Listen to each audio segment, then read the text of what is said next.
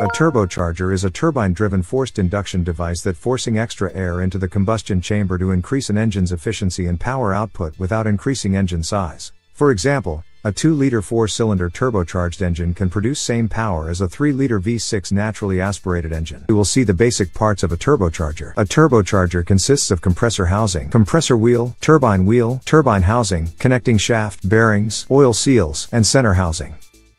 The turbine housing is bolted to the engine's exhaust manifold, while the compressor housing connects to the engine's intake. The turbine wheel and compressor wheel are connected by a solid shaft that is supported by bearings inside the center housing. An oil feed line from the engine lubricates the shaft and bearings to reduce friction during the rotation. Also, oil can act as a coolant by drawing heat away from the turbocharger.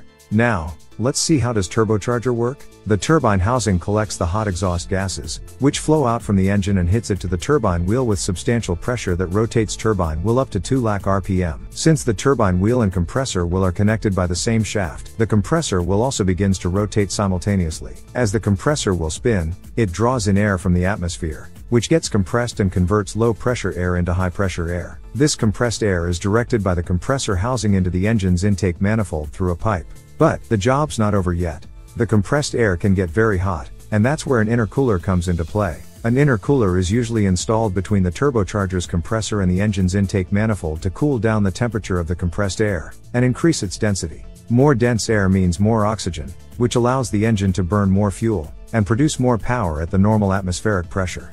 The difference between atmospheric pressure and the amount of air pressure provided by the turbocharger is called boost, and it's measured in pounds per square inch. A typical turbocharger provides about 6 to 8 psi of boost.